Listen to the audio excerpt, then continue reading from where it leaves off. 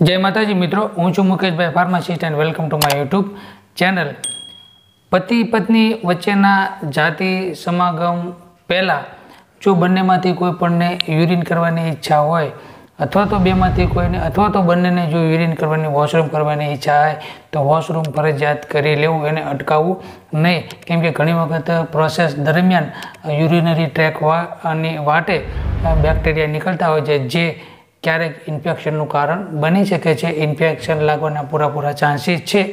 માટે આવું કરવું ફરજિયાત છે. વોશરૂમ કરીને પછી આ જનનાંગોને પણ વ્યવસ્થિત સાફ કરવા ખૂબ જરૂરી છે. કેમ કે ઘણી વખત એને લઈને, સાફ સફાઈને, અભાવને લઈને ઇન્ફેક્શન લાગે છે, જે આગળ જતાં ખૂબ મોટો પ્રોબ્લેમ ક્રિએટ કરે છે. માટે થોડીક સાવચેતી સાથે જો આનંદ કરવામાં આવે તો એ કંઈક અલગ જ પ્રકારનો આનંદ હોય છે અને ક્યારે પણ નુકસાન કરતા નથી રહેતો. માટે થોડાક સાવચેત રહી અને પછી પતિ પત્ની વચ્ચેનો જો જાતિ સમાગમ કરવામાં આવે તો એનો આનંદ કંઈક અલગ જ પ્રકારનો હોય છે.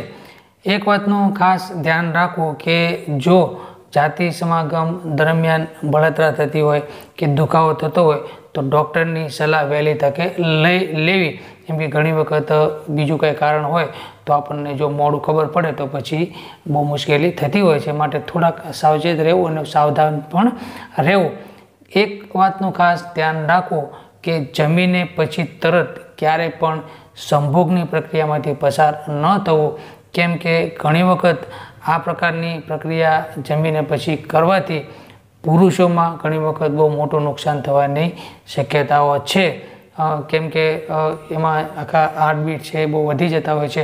એટલા માટે ઘણી વખત આ પ્રક્રિયામાંથી પસાર થતાં પહેલાં જમીને પછી ટૂંકમાં પસાર ન થવું અને એકદમ રેસ્ટ માનસિક હોય ત્યારે માનસિક બંનેની સિચ્યુએશન એકદમ સ્થિર હોય, માનસિક સ્થિતિ એકદમ સારી હોય અને ફિલિંગ એકબીજાની અલગ જ પ્રકારની હોય ત્યારે જો આ પ્રોસેસમાંથી પતિ પત્ની પસાર થાય, તો એનો જે આખો આનંદ છે અલગ જ પ્રકારનો રહેતો હોય છે. ખાસ એક મહત્ત્વનું વાત એ છે કે આ જાતિ સમાગમ પતિ પત્ની વચ્ચેનો જે છે, એ પ્રોસેસમાંથી પસાર થતાં પહેલાં પુરુષ પાત્ર જો સ્ટ્રોબેરીનું સેવન કરશે, તો એનો ફાયદો છે એ કંઈક અલગ જ પ્રકારનો મળશે અને જાતિ સમાગમનું જે આખી પ્રોસેસ છે, એ કંઈક અલગ જ રંગ લઈને તમારી આવશે. સર્વ જીવને માતાજી સારી તંદુરસ્તી આપે પ્રાર્થના. જય માતાજી.